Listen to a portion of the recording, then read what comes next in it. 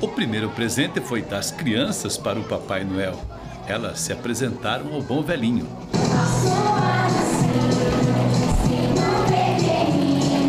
Depois o momento mais esperado, a entrega dos presentes. Ao todo, foram 300 cartas escritas ao Papai Noel dos Correios e adotadas por voluntários.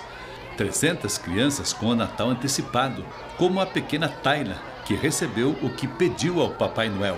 Um bebê Um, por que, que você queria um bebê? pra mim brincar. Pra você brincar e o Papai Noel atendeu o teu pedido? Sim.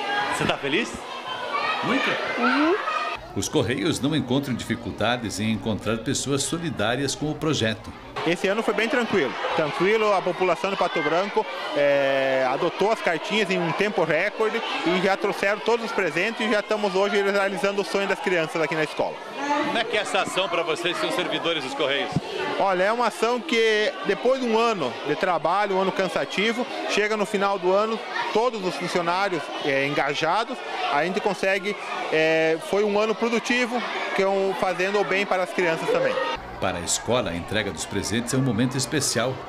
Esta foi a segunda vez que a mesma escola foi escolhida pelos Correios. É uma alegria enorme, né? A gente vê a satisfação nas crianças e também essas as pessoas, né, que fazem essas boas ações para ajudar essas crianças carentes, né?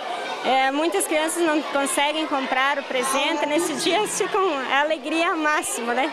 Para as crianças menores do CIMEI que ainda não foram alfabetizadas, as professoras ajudam a escrever a carta. Mas para os maiores, escrever vai além do pedido. Elas aprendem a produzir textos.